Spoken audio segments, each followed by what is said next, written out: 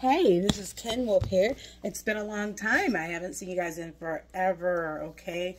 So sometimes it takes a while for me to get my um my groove back, get me into the where I can do all the stuff that I do for you guys. So I've been putting a couple sim stuff up lately because I just well, didn't have inspiration to do a dollhouse. I didn't have inspiration to do anything like that. I was very, how do I put it, depressed and down, and I had a car accident, and things were just happening. So I'm out of that funk right now. I'm out of the depression. I'm excited to show you guys what I've been working on. You ready?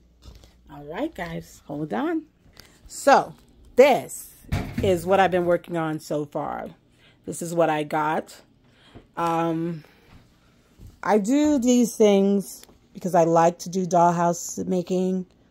Um, this is just a rough draft of what I'm doing.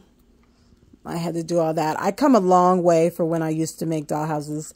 So right now I am getting ready to, I think I'm getting ready to spray paint and then I put a lot of fluff on it and things like that.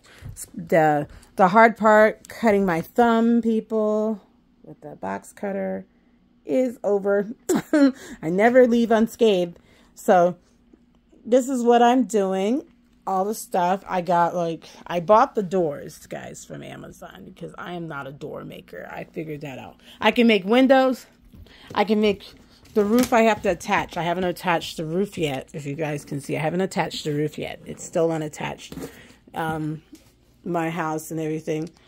And I show you guys, I'm going to have a video of, um, of all the pictures I got and I did from the dollhouse and what I came from with the dollhouse and kind of some of the highlights before the finished product. But this is it. So I hope you all have a wonderful day. And this is a talent that I like to do. I'm very excited about it. When I took a two-week vacation just to find out, you know, get back to me, sort of some sorts. And this is what it is. So bless you guys. Have a great day. It's a 30 style house when I get done with it. It's going to be superb and awesome. But right now, this is like a rough draft of everything. Once I start spray painting and stuff and casing it and things like that, you guys will see everything. So I'm making the house for these 1.12 type dolls. And um, I will be working on it. This is what I'm working on. I'm back at it. Doll houses are back, baby. Uh -huh. God bless you all. Bye.